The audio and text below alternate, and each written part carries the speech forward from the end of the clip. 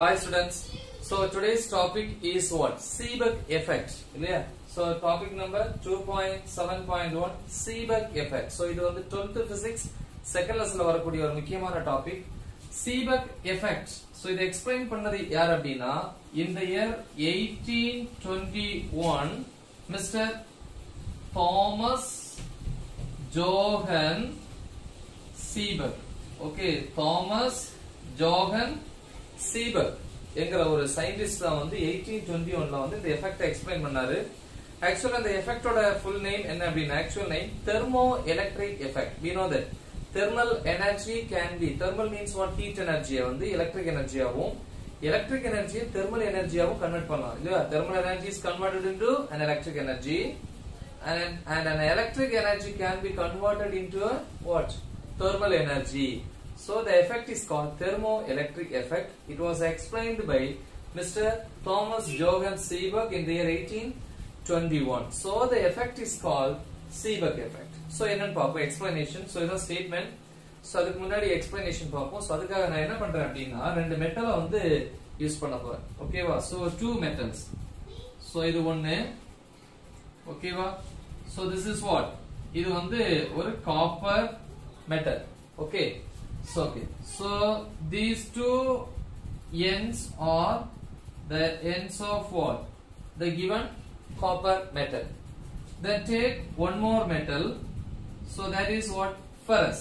So அதை என்ன பண்றேன்னா ஃபெரஸ் மெட்டலோட ஒரு எண்டை இப்படி ஜாயின் பண்ணிக்கிறேன் ஸோ அடுத்த எண்டை வந்து காப்பர் மெட்டல் பிளேட்டோட மெட்டல் ஒயரோட இன்னொரு எண்ட்ல ஜாயின் பண்ணிட்டேன் ஸோ பாருங்க இது வந்து ஃபெரஸ் ஸோ இது ரெண்டுமே வந்து சிமிலர் மெட்டல்ஸ் கிடையாது dissimilar so two dissimilar metals okay combine or join to form two junctions இல்லையா ரெண்டு dissimilar metals வந்து ஜாயின் பண்ணும்போது எத்தனை எனக்கு எத்தனை junctions கிடைக்குது ரெண்டு junctions கிடைக்குது இல்லையா so this is called thermocouple so இதுல எழுதிருப்போம் பாருங்க the two dissimilar metals connected to form two junctions is known as thermocouple இது ரெண்டு டிசம்பர் மெட்டல்ஸ் வந்து ஜாயின் பண்ணும்போது நமக்கு எத்தனை கப்பிள் ஐ மீன் எத்தனை ஜங்ஷன்ஸ் கிடைக்குதுன்னா ரெண்டு ஜங்ஷன்ஸ் கிடைக்குது. சோ இதுக்கு பேர் வந்து என்னது? தெர்மோ கப்பிள் சோ இது என்ன பண்ண போறோம் அப்படின்னா these two junctions are maintain at different temperatures different டெம்பரேச்சர்ஸ்ல வந்து மெயின்டைன் பண்ண வைக்க போறேன். சோ என்ன பண்ண போறோம் பாத்தீங்கன்னா ஒரு பீக்கர் சோ இந்த பீக்கர் ஃபுல் அண்ட் ஃபுல் என்ன எடுத்துக்க போறேன் அப்படின்னா ஐஸ் கியூப்ஸ் சோ இதெல்லாமே வந்து பாத்தீங்கன்னா ice cubes okay so this is what ice cubes so அப்ப ஐஸ் கியூப்ஸ் இருக்கக்கூடிய ஒரு பீக்கர் சோ அந்த பீக்கர் வந்து எதை ஆக்ட் பண்ணும்? ஆக்டர்ஸ் அஸ் என்ன ஜங்ஷன் இது வந்து cold junction cold cold junction அப்படின்னு சொல்லலாம். கோல்ட் ஜங்ஷன் வேணா பிராக்கெட்ல கூல் அப்படின்னு எழுதலாம்.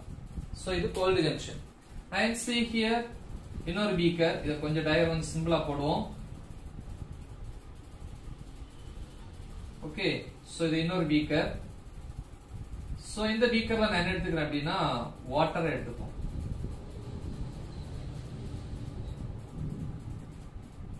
சோ இது வந்து water so this is water so I am going to heat this so with the help of what heating device heating டிவைஸோட ஹெல்ப்போட நான் என்ன பண்றேன்னா இதை ஹீட் பண்றேன் ஸோ இது என்ன ஜங்ஷன் அப்படின்னா hot junction so the temperature of the cold junction is denoted by letter theta one degree Celsius this is hot junction means theta two degree Celsius okay அப்ப ரெண்டுமே ரெண்டு different temperature bath ice கியூப்ஸ்னா we know know that initial temperature that is zero degree Celsius வாட்டர்னா minimum twenty twenty five இல்ல thirty degree Celsius இந்த மாதிரி இருக்கும் ஓகேவா S so இப்ப ரெண்டு டிஃபரண்ட் டெம்பரேச்சர்ஸ் இருக்கக்கூடிய இடத்துல இந்த தெர்மோகப்லோட ரெண்டு ஜங்ஷன் என்ன பண்றேன் அப்படின்னா பிளேஸ் பண்ணியிருக்கேன். ஓகேவா சோ இப்ப என்ன ஆகும் அப்படின்னா இது வந்து ஹாட் வாட்டரா மாறிட்டு இருக்கும். So now the heat energy is transport இல்ல நமக்கே தெரியும். எப்ப வந்து இந்த சர்க்கியூட் இதை பாருங்க கொடுத்துருக்க பாருங்க. இப்ப இந்த சர்க்கியூட் எந்த சர்க்கியூட்டா மாறுச்சு அப்படின்னா ஒரு க்ளோஸ்டு சர்க்கியூட்டா மாறுச்சு. சோ இங்க closed circuit consisting of two two dissimilar metals okay எத்தனை metals two dissimilar metals when the junctions இது ஒரு junction இது ஒரு junction when the junctions are maintained at different temperatures இல்லையா different temperaturesல வந்து junctions வைக்கிறேன் and EMF is developed அப்ப அந்த நேரத்துல என்ன ப்ரொடியூஸ் ஆகுமா EMF EMF is nothing but here potential difference கொடுத்திருக்கான் இல்லையா ஏன்னா இங்க டிஃபரன்ஸ் ஐ மீன் டெம்பரேச்சர் வேற இங்க டெம்பரேச்சர் வேற டூ டிஃபரண்ட் டெம்பரேச்சர்ஸ் இருந்துச்சுனாலே இந்த சர்க்யூட் என்ன ப்ரொடியூஸ் ஆகும் பொட்டன்ஷியல் டிஃபரன்ஸ் ப்ரொடியூஸ் ஆகும் எப்போ பொட்டன்ஷியல் டிஃபரன்ஸ் ப்ரொடியூஸ் ஆகுதோ சொல்லியிருக்கேன் இல்லையா? எப்போ பொட்டன்ஷியல் டிஃபரன்ஸ் ப்ரொடியூஸ் ஆகுதோ அப்ப அந்த சர்க்கியூட்ல என்ன ஃப்ளோ ஆரம்பிக்கும்? Current if there is no potential difference means there is no current so அப்ப அந்த பொட்டன்ஷியல் டிஃபரன்ஸ்னால இந்த சர்க்யூட்ல வந்து கரண்ட் ஃப்ளோ ஆகும். க்ளோஸ் சர்க்கியூட் எங்க இருந்து எங்க ஃப்ளோ ஆகும் அப்படின்னா at the hot junction current flows from copper to ferrous ஏன்னா காப்பர்ங்கிறது வெரி குட் கண்டக்டர் ஃபெரஸ் வந்து அதுக்கு அடுத்தபடி அப்படிதான். அப்ப நல்ல ஒரு கண்டக்டர் காப்பர்ல இருந்து ஃபெரஸுக்கு தான் என்ன ஆகும்? கரண்ட் வந்து ஃப்ளோ ஆகும். ரீசன் காப்பர் வந்து it start to conduct the electric current at low temperature low டெம்பரேச்சர்லயே copper வந்து கண்டக்ட் பண்ண ஆரம்பிக்கும். ஃபெரஸ் வந்து அதை விட அதிகமான டெம்பரேச்சர் ரீச் பண்ணும்போது தான் கண்டக்ட் பண்ண ஆரம்பிக்கும். ஸோ அதனால தான் at the hot junction current flows from copper to ferrous.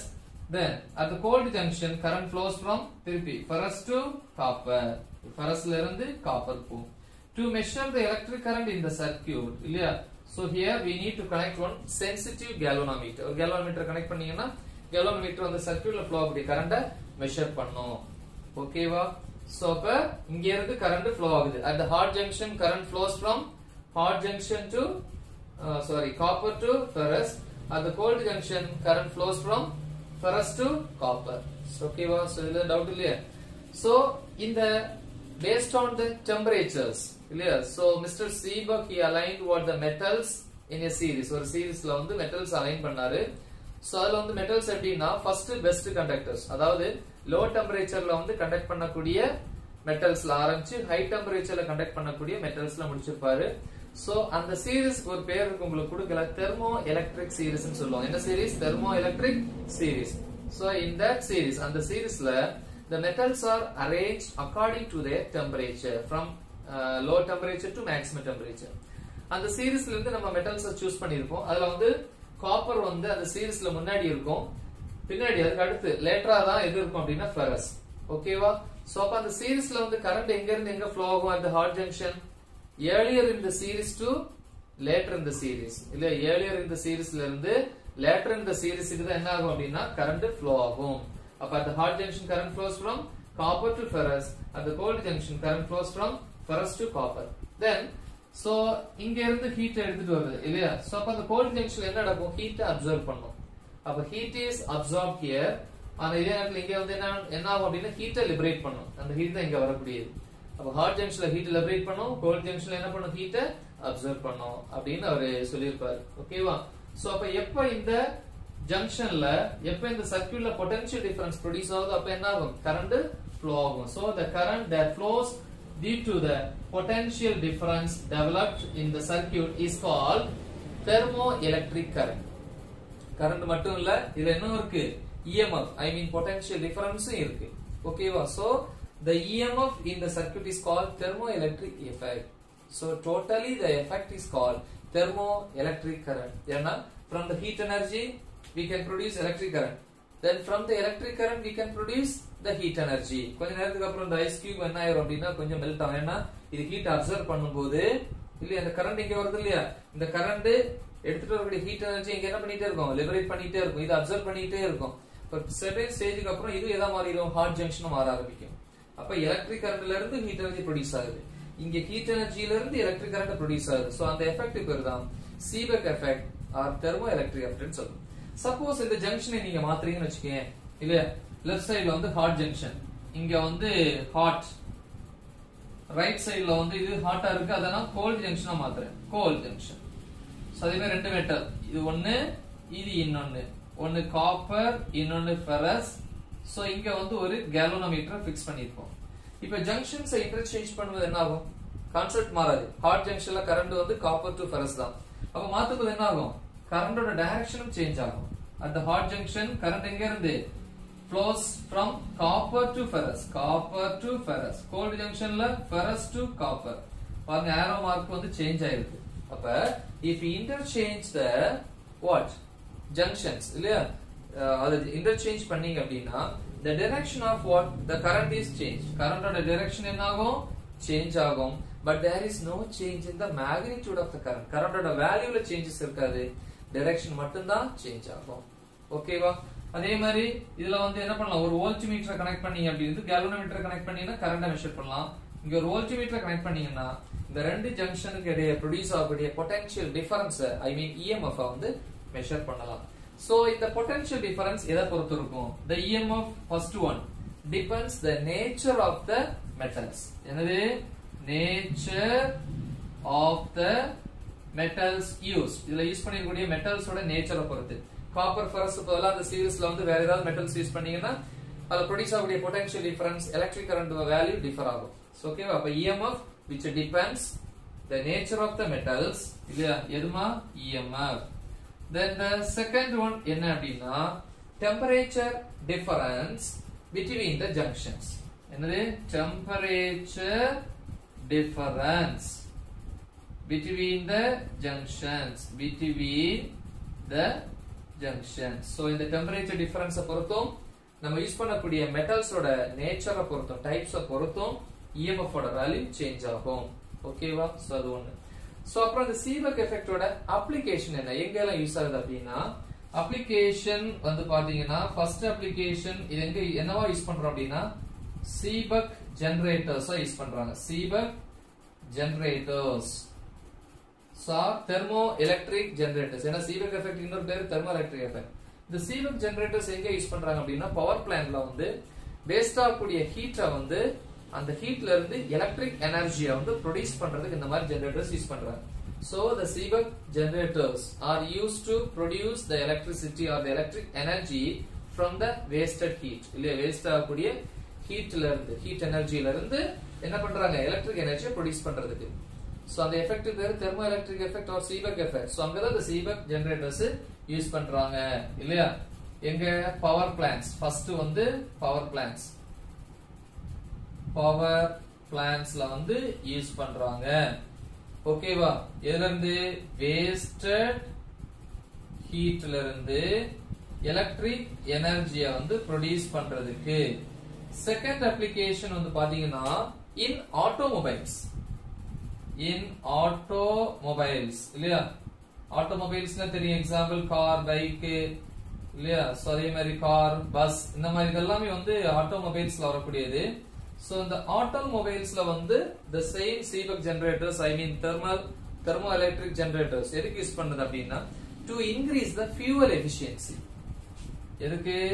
To increase the fuel efficiency ஓகேவா இது ரெண்டாவது application so and see the third application so the space இல்ல அதனால தான் okay so see the third application the same generators i mean the Seebeck generators வேற எதுக்கு use ஆகுது அப்படின்னா to measure அதாவது எங்க யூஸ் பண்றோம் அப்படின்னா this is thermocoupled இல்ல ரெண்டே ரெண்டு ஜங்ஷன் இருந்தா thermocoupled more than two junctions நிறைய ஜங்ஷன்ஸ் வந்து சீரியஸா கனெக்ட் பண்ணியிருந்தோம் அப்படின்னா நிறைய மெட்டல்ஸ் இல்லையா?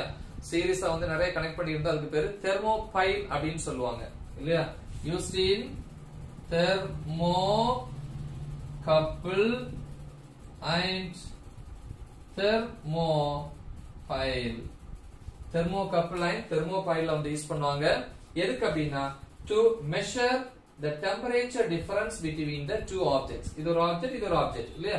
சோ ரெண்டு ஆப்ஜெக்ட்ஸ்க்கு இடையே இருக்கக்கூடிய டெம்பரேச்சர் டிஃபரன்ஸ வந்து மெஷர் பண்றதுக்கு எதை யூஸ் பண்ணுவாங்க? The same Seebeck generators எங்க யூஸ் பண்ணுவாங்க? தெர்மோகப்பிளையும் தெர்மோபைலையும் யூஸ் பண்ணுவாங்க. ஓகேவா ஸோ இதோட அப்ளிகேஷன் ஸோ இது வந்து ஸ்டேட்மெண்ட் அதே தான் நான் இங்க எக்ஸ்பிளைன் பண்ணியிருக்கேன். அப்போ direction I mean junctions interchange பண்றதுனால அதோட மேக்னிடியூட் வேல்யூ சேஞ்ச் ஆகாது. ஒன்லி டிரெக்ஷன் தான் சேஞ்ச் ஆகும்.